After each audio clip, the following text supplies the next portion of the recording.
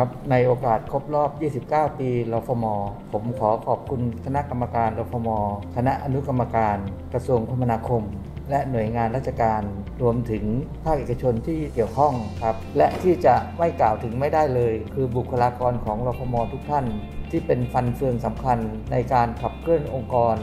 ให้ก้าวลุดไปข้างหน้า โดยอาศัยความใฝ่รู้และความชำนาญในงานที่ตัวเองทำทั้งรู้จักเคารพ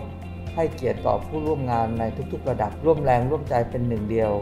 และปฏิบัติหน้าที่อย่างเต็มความสามารถเสมอมา ทั้งนี้ก็เพื่อผลักดันภารกิจหลักขององค์กร ในการพัฒนาโครงข่ายระบบรถไฟฟ้าขนส่งมวลชนสายต่างๆ สร้างทางเลือกในการเดินทางที่มีคุณภาพให้แก่ประชาชน ถึงแม้ในสถานการณ์ณปัจจุบันรฟมมีความจำเป็นต้องปรับตัวให้พนักงาน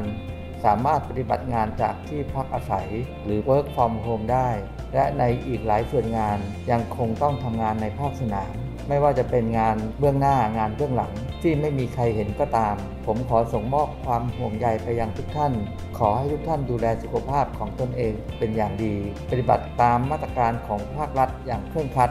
ผมยังคงเชื่อมั่นว่าด้วยความร่วมมือของทุกท่าน เราจะสามารถผ่านวิกฤตครั้งนี้ไปได้อย่างราบรื่น ผมขอถือโอกาสนี้ในการประกาศเจตนารมณ์ของรฟม พร้อมด้วยคณะผู้บริหารและบุคลากรของรฟม ทุกคน ที่จะร่วมกันนำพาองค์กรเดินหน้าไปสู่ปีที่ 30 โดยยึดหลักธรรมาภิบาล และการกำกับ ดูแลกิจการที่ดี ในการผลักดันงานก่อสร้างโครงการรถไฟฟ้า ให้เกิดประสิทธิผล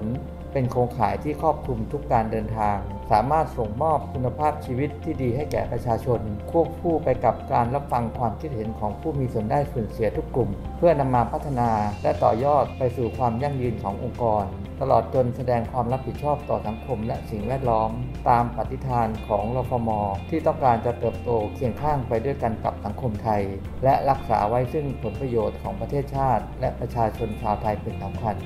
ขอบคุณครับ